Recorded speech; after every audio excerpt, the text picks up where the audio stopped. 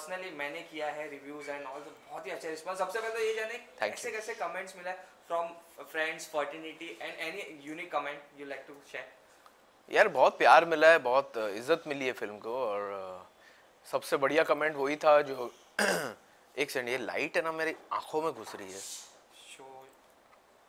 बहुत अनकंफर्टेबल हो रहा है। सीधा मेरे आँख में लग रही है। Okay sir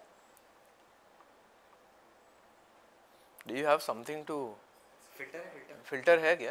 ये बहुत सीधा आँखों में डाल मेरी आँखें ऐसे ऐसे हो रही है।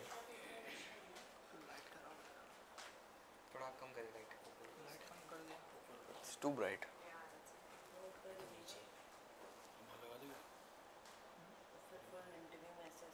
adjustable है। क्या इसको थोड़ा। ऊपर actually I am not being able to okay okay okay मैं मैं फोकस नहीं कर पा रहा हूँ बिकॉज़ ऐसे ऐसे हो रही है आँखें। नहीं होगा नॉट वेरी बेटर या यहाँ के लाइट्स और ऑन कर सकते नहीं पर that's a top light can you remove it हम कैमरा पीछे लेके कर सकते हैं थोड़ा। हाँ। फिर फ्रेम जूम जब फ्लैश थोड़ा पीछे हो जाएगा ना एटलीस्ट हाँ मज़ा थोड़ा बाउंस मार दे। लाइक बाउंस मार चेक करो एक बार वरना देख लेंगे कैसे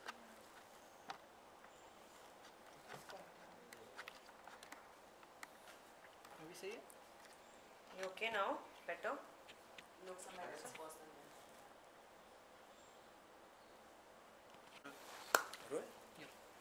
Okay बता दें सबसे पहले बिग बिग कॉन्ग्रेचुलेशंस बहुत ही अच्छा रिस्पांस मिला मैंने पर्सनली किया है रिव्यूज़ बहुत ही रिस्पांस बहुत ही बेहतर फ्रॉम द ऑडियंसेस सबसे पहले ये जानना चाहिए what kind of comment you have got from the friend fraternity and specially any special comment from you यार एक्चुअली फ़िल्म इंडस्ट्री ने बहुत प्यार दिया है फ़िल्म को बहुत इज़्ज़त दी है फ़िल्म को तो हम उसके लिए शुक्रगुजार हैं इंडस्ट्री के।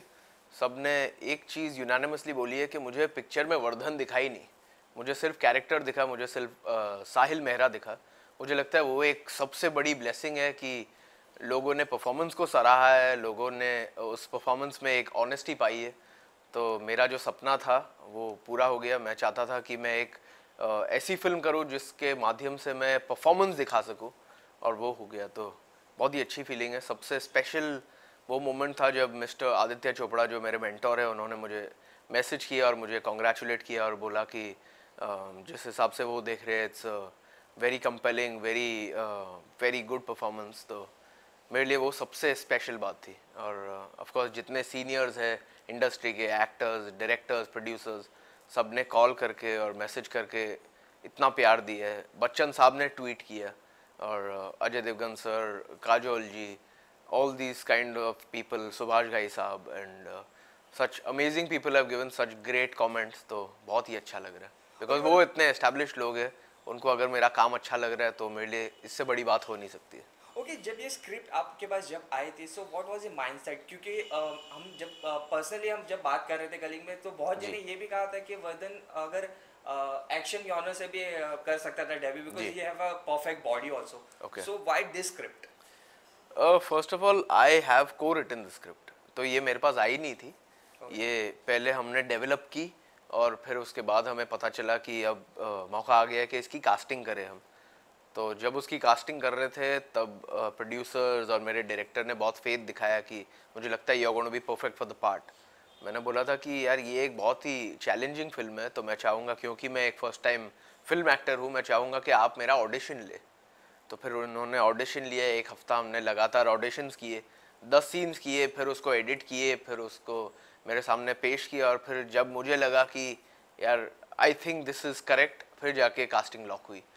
और फ़िल्म की अगर बात करें तो मेरा हमेशा ये मानना था कि एक ऐसा कैरेक्टर मिले जो कंपेलिंग हो, जो मुझे एक्टिंग करने पर मजबूर करे, जो लेयर्ड हो, जिसमें वो सारी चीज़ें मैं दिखा सकूँ, जो जिसकी मैं काबिलियत रखता हूँ। तो जब ये फ़िल्म हमने, जब इसका फाइनल ड्राफ्ट हमने पढ़ा, मुझे लगता, मुझे लगा कि इससे बेटर स्टार्ट मेरे लिए हो ही नहीं सकता। तो इसीलिए हमने ये फ़िल्म चुनी, और ऐसा कोई डिज़ाइन नहीं था कि हम लव करें या रोमांस करें या एक्शन करें इस फ़िल्म में एक्चुअली मुझे एक्शन करने का भी मौका मिला है। और एक्शन ऑफ़ कोर्स इतना ज़्यादा है नहीं पर जितना भी है वो बहुत ही इंटेंस एक्शन है। तो मुझे भी जैसे आप कह रहे हो काफ़ी लोगों ने बोला कि why don't you come up with a love story why don't you sign this love story which is been offered you why don't you do this action film पर मेरा ये मानना था कि I more than the genre I need to focus on how exciting I find the story और मुझे ये story सबसे ज़्यादा एक्साइटिंग लगी तो मैंने ऐसे डेब्यू किया। तो फ्यूचर में ऑफकोर्स एक्शन करने का भी मौका मिलेगा रोमांस करने का भी मौका मिलेगा पर इस फ़िल्म में जो मुझे करने का मौका मिला मुझे लगता है वो मेरा सबसे बड़ा आशीर्वाद है। ओके okay, ये मूवी तो बहुत ही सराहा जा रहा है लोगों के साथ बट बहुत चीज़ें रॉन्ग भी प्रूफ की है ये मूवी ने। जैसे कि कहा गया था कि ये स्टॉकिंग कल्चर को प्रमोट करती है या कबीर सिंह को भी ये बहुत हद तक उनके लुक और ये बहुत सभी कुछ को वो रॉन्ग प्रूफ किए so, कितना हैप्पी फील करते हैं कि जब इतना अप्रिशिएट मिलता है और ये सब सारे जो भी नेगेटिव थे वो पॉजिटिव में कन्वर्ट हो चुके हैं। बहुत अच्छी फीलिंग है। मैंने तो एक इंटरव्यू में बोला भी था कि अगर आपको लग रहा है कि ये स्टॉकर कल्चर स्टॉकिंग कल्चर को यू नो बढ़ावा दे रही है तो आप डेफिनेटली इस फ़िल्म के बाद मुझे आके खुद बोलेंगे कि इसमें बिल्कुल उसे प्रमोट नहीं किया गया। और जो कि हुआ जिनसे मेरी बात हुई थी उन्होंने मुझे कहा था कि आपको नहीं लग रहा है कि ज़रा सी इरिस्पॉन्सिबल फ़िल्म है क्योंकि स्टॉकर कल्चर को प्रभावित करती है आ, को बढ़ावा देती है। वो ट्रेलर देखने के बाद बोला था पर उस आ, उस जन ने उन आ, उस मोहतरमा ने ये फ़िल्म देखी उनका मुझे फ़ोन आया उन्होंने बोला कि आप बिल्कुल करेक्ट थे। और कबीर सिंह की अगर बात की जाए तो हमारी फ़िल्म कबीर सिंह से बहुत अलग है। कबीर सिंह का जो लुक है वो साहिल मेहरा के एक एक एक जो लुक है फ़िल्म में उससे काफ़ी मिलता जुलता है। पर अदरवाइज़ ये बहुत ही अलग फ़िल्म है। पर of course having said that Kabir Singh के साथ अगर हमारी तुलना हो रही है, मेरे लिए बहुत बड़ी बात है। उसमें शायद भाई ने जो काम किया है, ज़बरदस्त है, वो फ़िल्म भी मुझे बहुत पसंद है। मुझे लगता है कि वो एक बहुत ही सुप्रीमली एंटरटेनिंग फ़िल्म है और जिस किस्म की इंटेंसिटी उस फ़िल्म में उसको मैं सलाम करता हूँ। तो कबीर सिंह के साथ अगर हमारी तुलना हो रही है तो बहुत अच्छी बात है। पर हमारी फ़िल्म बिल्कुल उसके जैसी नहीं है। और लोगों ने फ़िल्म देखने के बाद भी यही बोला कि यार ये फ़िल्म कबीर सिंह से बहुत अलग है पर हाँ दोनों की इंटेंसिटी हम्म। एक बराबर है। तो अच्छी बात है। ओके okay, डेब्यू के पहले आपने थिएटर भी की है फिर उसके बाद आप असिस्ट भी कर चुके हैं वायर एफ़ में। जी। सो so, बहुत सारे ऐसे लोगों का मानना है कि जो थिएटर बैकग्राउंड से आते हैं they have a more powerful skill और जो प्रोनाउंसिएशन है वो उसके बहुत ही शार्प होते हैं एज कंपेयर टू अदर जो थिएटर बैकग्राउंड से नहीं आते। डू यू एग्री ऐसे बहुत से एक्टर्स हैं जो थिएटर के नहीं है, फिर भी बहुत ही उम्दा है, बहुत ही तैयार है। तो ऐसी कोई बात नहीं है कि थिएटर से ही आपको सीखने को मिलता है, पर मैं ये ज़रूर कहूँगा कि थिएटर एक बहुत बड़ा अध्यापक है। थिएटर से आपको कुछ ऐसे लाइफ लेसन मिलेंगे और ऐसे एक्टिंग लेसन मिलेंगे जो आपको कभी सिनेमा नहीं दे सकता। क्योंकि वहाँ आप एक्सपेरिमेंट कर सकते हो, वहाँ इतने पैसे दाव पे नहीं लगते। तो यहाँ एक फ़िल्म बनाने के पीछे इतने करोड़ रुपए जाते हैं। वहाँ आपको अगर थिएटर करना हो तो आप एक मिनिमल बजट में उस थिएटर, उस प्ले को परफॉर्म कर सकते हो। इसीलिए वहाँ एक्सपेरिमेंटेशन का जो स्कोप है वो बहुत ज़्यादा है। इसीलिए एक्टर्स को सीखने को बहुत मिलता है। तो ऑफकोर्स मैं जितना कुछ सीखा हूँ एक्टिंग के बारे में, सारा कुछ मैं थिएटर से ही सीखा हूँ। तो मैं लोगों को हमेशा ये मेरे से जो जूनियर्स है जो कभी राय के लिए आते हैं दोस्ती यारी में कि यार मुझे भी एक्टर बनना है क्या करूँ? मैं उन्हें हमेशा बोलता हूँ कि भाई थिएटर करो। थिएटर से आपको बहुत कुछ सीखने को मिलेगा। पर मुझे नहीं लगता है कि थिएटर ही एक ऐसा टीचर है जो आपको सिखा सकते हैं। थिएटर के अलावा बहुत सी चीज़ें हैं जैसे फ़िल्म एक्टिंग स्कूल में आप बहुत कुछ सीख सकते हो एक्टिंग के बारे में। आप असिस्टेंट डायरेक्टर बन सकते हो वहाँ बहुत कुछ सीख सकते हो। तो ऑफकोर्स पर्सनली मेरे केस में मैं मानूँगा कि जो कुछ भी मैं हूँ मैं थिएटर की वजह से हूँ। ओके जहाँ लोग अप्रिशिएट करें फर्टिनिटी में भी आपने जैसा कहा कि आदित्य सर ने भी आपको बहुत ही अच्छा रिस्पांस दिया पर्सनली आपको टेक्स्ट किया है। सो so, जैसे कि आप फिल्मी बैकग्राउंड से आ से तो कहा कहीं ना कहीं आपको ज़िम्मेदारी और बढ़ती हुई नज़र आए क्योंकि मैंने भी बहुत जन से सुना है कि अमरीश पुरी जी के फैमिली से आ रहे हैं। तो उनकी ज़िम्मेदारी और बढ़ जाती है और हमने जहाँ देखा भी कि नेपोटिज्म के भी आजकल जो बहुत चल रहे हैं। सो कितना प्रेशर फील करते हैं? मैं बिल्कुल प्रेशर नहीं फील करता मेरे दादू ने कमाल का इनिंग्स खेला। और आज वो इतने सेलिब्रेटेड आर्टिस्ट है।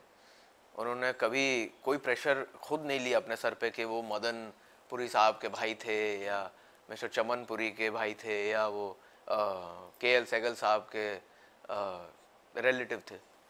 उन्होंने हमेशा अपने काम को अपना काम माना और वो आगे बढ़ते गए, अपने कैरेक्टर्स को ऑनेस्टी के साथ करते गए और आज वो इतने बड़े एक हस्ती है। उसी तरीके से मैं मानता हूँ कि मेरी अपनी एक जर्नी है, मेरे ग्रैंडफादर का नाम बहुत ही बड़ा है। पर मुझे बस मेरे जो कैरेक्टर्स हैं, उनको बहुत मोहब्बत से चुनने, उनमें जान डालनी है, मेहनत करनी है और ये महसूस करवाना है मेरी परिवार को और मेरे दादाजी को कि यार मेरा पोता अच्छा काम कर रहा है। तो बिल्कुल कोई प्रेशर नहीं है। ऑफकोर्स रिस्पॉन्सिबिलिटी है क्योंकि उनका नाम इतना बड़ा है। मुझे अच्छा काम करना होगा, मैं कोई एवरेज काम नहीं कर सकता हूँ। मुझे अपने हंड्रेड परसेंट को डालकर काम करना होगा। तो ये एक बहुत बड़ी रिस्पॉन्सिबिलिटी है, पर प्रेशर किसी भी किस्म का नहीं है क्योंकि प्रेशर जो होता है वो आपकी फैमिली डालती है कि अरे तुम्हारे दादाजी इतने बड़े थे तुम्हें भी ऐसा करना पड़ेगा। मेरी फैमिली ने मुझे हमेशा एक ही चीज़ बोली है जो तुम्हें अच्छा लगता है जो तुम्हें पसंद है वही करिए। कोई प्रेशर नहीं है उनकी अपनी एक जर्नी थी आपको अपनी एक छाप बनानी है। तो बस रिस्पॉन्सिबिलिटी है कोई प्रेशर नहीं है। ओके okay, आने वाले समय में और कौन सा जॉनर देखने मिलेगा आपके साइड से? यार मुझे एक बहुत बहुत ही अच्छी कॉमेडी ऑफ़र हुई है। तो अगर सब कुछ अच्छे से जाए और अगर यू नो सब पॉजिटिवली जाए तो मैं बहुत जल्दी वो फ़िल्म करूँगा। एक फैमिली ड्रामा मुझे ऑफ़र हुई है जो बहुत ही अच्छी स्क्रिप्ट है। तो आप मुझे उसमें देखोगे, आप मुझे कॉमेडी में देखोगे, आप हॉरर में देखोगे, आप मुझे रोमांस में देखोगे किसी पॉइंट पे। तो जितने सारे जॉनर्स है साई फाई भी एक जॉनर है जिसका मैं बहुत बड़ा दीवाना हूँ। तो जितने जॉनर्स हैं हमारे, सब में मैं काम करना चाहूँगा और अगर आप मुझसे एक स्पेसिफिक जॉनर पूछे तो मैं सबसे ज़्यादा एक्साइटेड हूँ कॉमेडी को करने में। तो कॉमेडी इज़ समथिंग जो मैं थिएटर में भी बहुत इन्जॉय करता था। मुझे कॉमेडी और ड्रामा के लिए लोग बहुत अप्रिशिएट करते थे और मेरी पहचान वैसे बनी कॉमेडी से बनी थिएटर में। तो मैं चाहूँगा कि मैं स्क्रीन पर भी कुछ ज़बरदस्त कॉमेडी कर पाऊँ। ओके okay, जैसे आप एडी भी रह चुके हैं so in future are you open to direction also definitely I don't know at what age be in my fifty sixty seventies eighties nineties I don't know when but किसी point पे तो मैं definitely direct करूँगा क्योंकि ultimate goal वही है कि एक पूरे फ़िल्म को बनाना और उसको सजाना और उसको संवारना और फिर पेश करना ऑडियंस के लिए। तो 100 परसेंट मेरा एक बहुत बड़ा सपना है कि मैं डायरेक्ट भी करूँ, पर इमीजिएटली नहीं करूँगा। एट द मोमेंट मेरा 100 परसेंट फोकस एक्टिंग पर ही है। तो मैं फ़िल्म एक्टिंग पे मेरा पूरा ध्यान दे रहा हूँ। ओके लास्टली क्या कहना चाहिए दर्शकों को जिसने नहीं देखा है मूवी और जिसने देख लिया उसे भी? जिन्होंने देखी हो थैंक यू कि आपने इस फ़िल्म को इतनी मोहब्बत दी आ, हमारी स्टोरी को हमारे परफॉर्मेंसेस को डायरेक्शन को ट्रीटमेंट को इतना प्यार दिया इतना सराहा। आपकी वजह से ये फ़िल्म सक्सेसफुल हुई है और आपके प्यार के बिना हम कुछ भी नहीं है हम अधूरे और जिन्होंने नहीं देखी है प्लीज़ जाके देखिए प्लीज़ जाके रिव्यूज़ देखिए लोगों को पसंद आ रही है। इसका मतलब ये है कि आपको भी पसंद आएगी तो हमें ये मौका दीजिए। प्लीज़ थिएटर्स में जाके ये साली आशिकी देखिए और 100 परसेंट गारंटी के साथ कह सकता हूँ कि आप खुश होके एक मुस्कान के साथ बाहर आएँगे और बोलेंगे कि मुझे ये फ़िल्म दोबारा देखनी है। वो एक भरोसे के साथ कह सकता हूँ मैं कि हमने एक दिल से फ़िल्म बनाई है बहुत ऑनेस्ट फ़िल्म है। प्लीज़ हमें ये मौका दे। Thank you thank you sir pleasure talking to future thank you thank you so much for having me here thank you या आपको सारे आंसर्स मिले जो चाहिए थे आपको। Super sir super